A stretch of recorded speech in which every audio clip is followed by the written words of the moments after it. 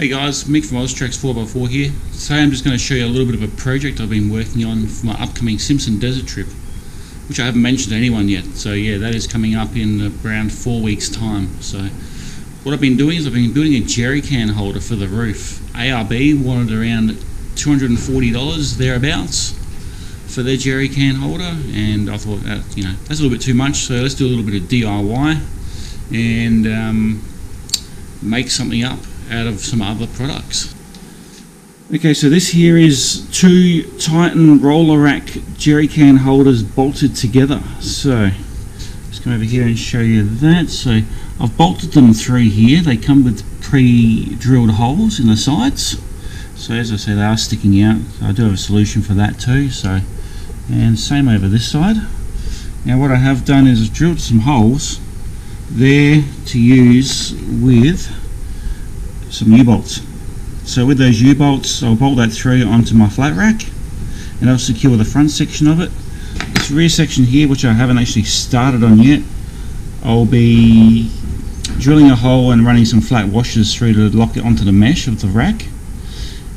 And that's pretty much it really, like it's pretty straightforward.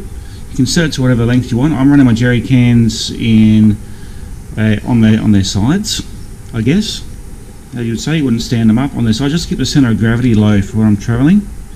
And obviously, as soon as I run low on the fuel, we put in the jerry cans uh, contents into the fuel tanks um, just to keep my weight down off the off the roof. As I have a spare wheel up there as well with some firewood, which we have to carry with us here in South Australia. So I'll uh, just put the jerry can in, and I'll show you what it looks like.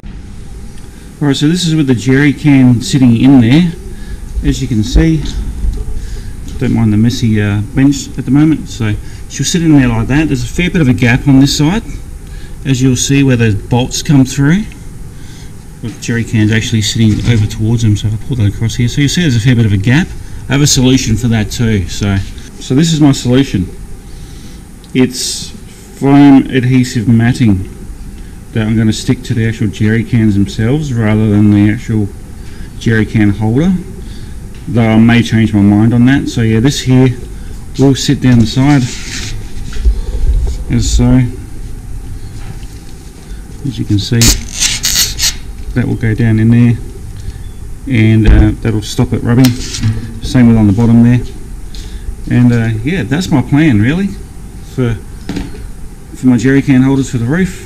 Um, now these do come with a ratchet straps uh, bolt onto an eye hook so it'll be like an eye hook around about here you just run your strap over both the jerry cans onto the other side and secure it on the roof that way so they don't come out.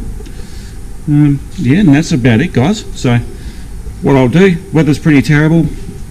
I'll do a second part which will be up next week and I'll show you how I've mounted it all up and the, some new jerry cans all secured. These are temporary as you can see. 1973 they're pretty rusty. Not going to be very good for what I'm doing so so yeah, that's my jerry can setup guys. So a bit of a view around here. Give you an idea of uh, running two jerry cans side by side, keeping the center of gravity low. Um, if you like the video so far, so there you go guys, that's my jerry can holder that I'm currently working on, my little project. I'll put links in the description down below uh, to show you what I purchased and all the bolts and nuts and everything that you'll need once it's all complete.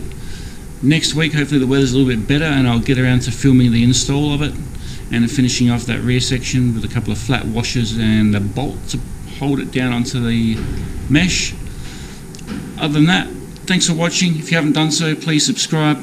Helps me make more videos for you guys. And as always, have a good one guys. Catch you next time.